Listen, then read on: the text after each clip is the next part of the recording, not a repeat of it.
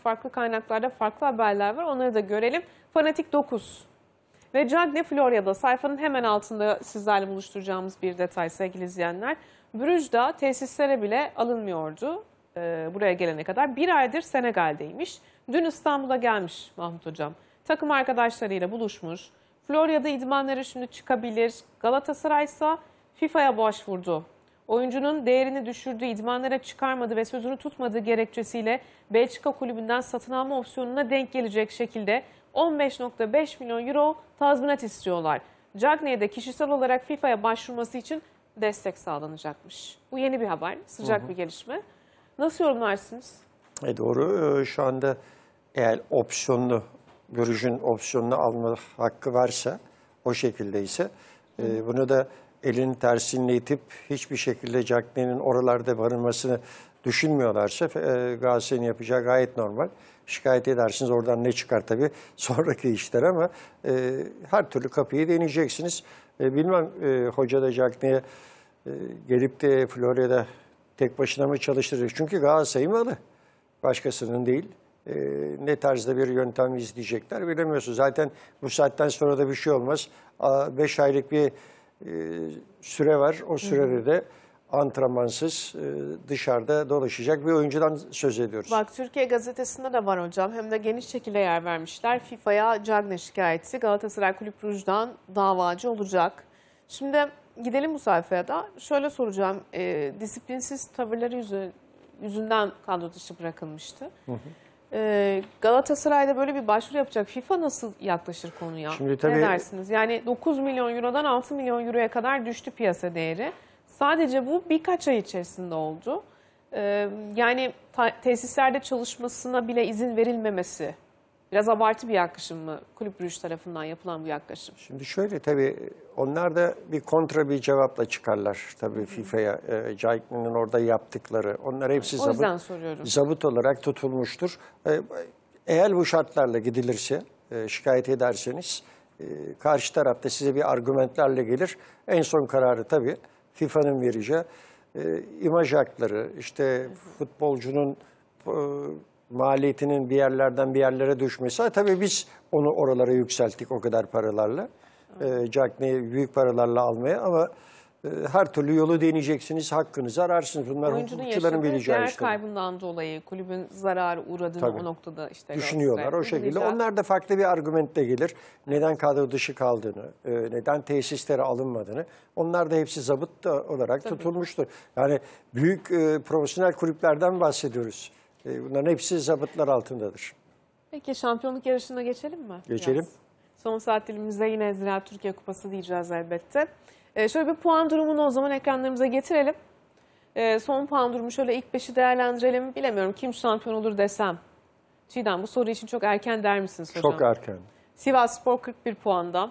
Son iki maçtır puan kaybediyor. Başakşehir 39. Trabzon ve Alanya aynı puana sahipler. Averajla Trabzonspor önde. Fenerbahçe'nin 37 puanı var. Trabzonspor'un bir maçı eksik. Galatasaray ve Beşiktaş'ta hemen Fenerbahçe'nin arkasında takipte. Ee, şu makas daraldı. Çok. Kimler çekişir en azından hani şampiyon kim olur öngörüde bulunmak kolay değil ama Değil, şu anda kimlerin yedi- arasında o yarış geçer sizce? Yedinci sıraya kadar şampiyonluk içinde var. Beşiktaş'a kadar. dahilinde. Her şey var yani burada iki maç, üç maç arkası arkası seriyi yakaladığınız zaman e, pat diye yukarılarda yerinizi bulabiliyorsunuz. E, bu hattaki oynanacak tabii şey önemli. E, biraz sizi daha yakınlaştırma, uzaklaştırma. Sivas Başakşehir maçı tahmin edilecek bir maç değil. Ne olur e, bu hezimet diyelim Sivas için yani öyle kabul edilir. E, mağlubiyetten sonra tekrardan toparlanma süreci nasıl olacak? Toparlanabilecekler mi? E, Başakşehir oturmuş bir takım, e, iyi top oynuyorlar bizim standartlarımızda, Türkiye standartlarında. E, Galatasaray Kasımpaşa'da, Kasımpaşa ile oynayacak. Kasımpaşa her zaman için kendi sahasında Galatasaray çelme takmış bir takım. Onlar da yeni oyuncularına nasıl toparlanır? Galatasaray daha çok oturmuş bir kadrosu var. E, Kasımpaşa'nın yani aldıkları oyuncular da tam istedikleri gibi değil, lige oturmuş oyuncular değil. Hani bu hafta biraz farklı farklı maçlar izlemiş olacağız. Ee, ama e, tekrar söylüyorum Beşiktaş'a kadar şampiyonluğun içinde hepsi. 7. sırada dahil olmak üzere ilk 7 E sıra tabii birbirlerine Evet. oynayacakları maçlar var. Ee, şampiyonluk yarışı içinde olabilir dedi Mahmut Hocam. Bir grafiğimiz vardı. Ee, önümüzdeki 3 hafta oynanacak önemli maçlar grafiği. Ee, eğer onu bulabilirsek, hazırlayabilirsek olur ekranlarımıza getiririz. bir e, Aynen öyle. resim görebiliriz. İsterseniz şöyle ilk 5'teki 6-7'deki takımların e, beşer maçlık fikstürü de var hocam. Onları da konuşacağız tabii. Ama şu 3 hafta çok belirleyici olacak herhalde. Çünkü takımlar birbirleriyle oynuyorlar. Evet. Çok heyecanlı. Mesela Sivasspor Başakşehir'le oynayacak. Ardından bir Trabzonspor deplasmanı var. Evet. Ya son hafta maçı bir kırılma maçı oldu mu size göre? Artık iyi mi aşağı yönü devam eder mi? Buradan bir çıkış yakalar mı yeniden Sivas? Şimdi e, bakalım burada birbirlerine de çarpışabilirler. Şimdi siz oynadığınız zaman öbürü öne geçecek. Sonra öbür hafta siz kaybettiğiniz zaman öbürü kazanır. Gene yani biraz e, tam kopmalar çok olacağını tahmin etmiyorum. Son 5 haftaya kadar fazla kopma olacağını tahmin etmiyorum. Hepsi hani derler ya at başı diye o şekilde gideceğini düşünüyorum ben. Yani çok Şimdi fazla Sivasspor'un belki tecrübesi büyük takımlar kadar yok ama o heyecan var Sivasspor'da. Ya heyecan Onu var.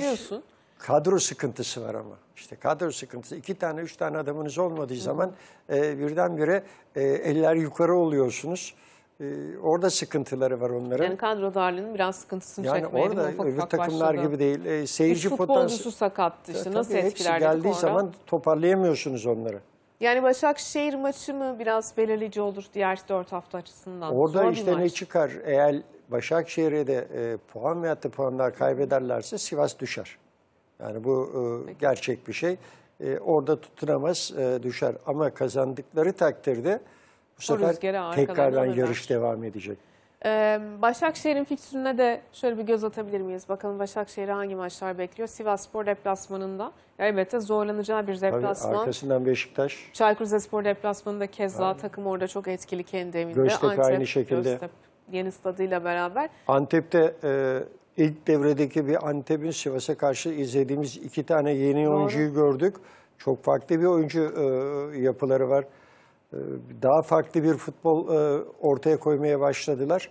Hani çekişmeli maçlar. Bu hafta yanılmıyorsam Beşiktaş Antep'le oynuyor. E, ondan sonra Trabzon var. Hani hepsi birbirlerine karma karışık. Kesinlikle. Kolay değil bu sezon yani. e, hani geçen sezon iki tane, üç tane takım, üçüncü takım 7. 8. haftada düşüşe geçti. İki takım kalmıştı. Bu sene öyle değil. Değil mi? İlk 7 sıra yarışa dahil olabilir gibi gözüküyor. Peki e, Başakşehir son iki sezonda özellikle yani güzel giderken ikinci yarılarda bir noktada biliyorsunuz yarıştan kopuyordu. Ya bu sene farklı bir hocayla, farklı bir tarzda oyunla, farklı bir kadroyla ne dersiniz bu yarışı, bu ipi göğüsler mi? Bu sezon Başakşehir santroforlarını kullanıyor. Civelli'yi bir tarafa bırakalım.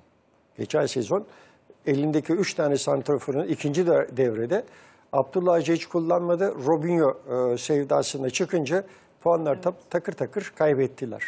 Ellerindeki şimdi ne oluyor? Dembaba'yı kullanıyor, Civelli'yi kullanıyor. İkili forvet oluyor zaman zaman. E, arkalı önlü oynuyorlar ve daha farklı bir e, Başakşehir izliyoruz. Ama Sivas maçında biraz e, çetin bir maç olacak o. Son 5 dakikamız hemen e, Ne çabuk Trabzonspor'un da evet fikstürünü ekranlarımıza getirelim. Gençler Birliği deplasmanı ardından bir Sivas ve Beşiktaş mücadelesi. Rize maçı, Gaziantep Futbol Kulübü deplasman maçı. Yani hiçbirinin fikstürü hocam kolay değil. Ya Belki hepsi zor. Zor kolaylık Hepsi- oranı var ama. Rize komşu. Evet. Orada onların e, bir birbirlerine olan komşulukları, münasebetleri işte birbirlerine rakip kent, bak e, Gençler Birliği deplasmanı. Yani e, hangisini söyleyeceksiniz? Trabzon ne kadar e, iyi olsanız bile e, gittiğiniz yerde farklı bir e, haftayla Ama şimdi kadroya baktığımızda hem ön kadro bölgesi, açısından hücumcuları iyiler, ona ve bir lafımız yok. Yani atanınız ve tutanınız çok iyi. Yani derler ya bu tabirler kullanılır. Yani o anlamda en avantajlısı aslında Trabzonspor gibi gözüküyor, desek. Gözüküyor işte erken mi? müdafalarda biraz onlar o yeni gelenleri nasıl kullanacaklar da Costa mesela mesela hatırlarsın Fenerbahçe maçının o gün müydü? Bir gün öncesinde mi? Gene burada e, Sabah Sporu'ndaydık. Karşılaştırıyorduk kalecileri. Ben acizane olarak Uğurcan'ın daha önde olduğunu söylemiştim. Hatırlıyorum. Yani Uğurcan'ın e, şu andaki reaksiyonu, gösterdiği reaksiyon aynı bir Alman kalecileri gibi. E, hep stajda bahsederiz ya Almanlarda kapama. Yani Uğurcan o modelde bir kaleci ve e, Trabzonspor'da çok iyi ama şunu da düşüneceksin. O pozisyonları nasıl veriyorsunuz? Gerçi Fenerbahçe ile oynuyorsunuz. Tamam girmeleri gayet normal ama öyle bariz pozisyonlara girdi ki çocuk da Allah var yani Trabzonspor orada mağlubiyetten kurtardı. Bunu gerçeği de söylemek lazım.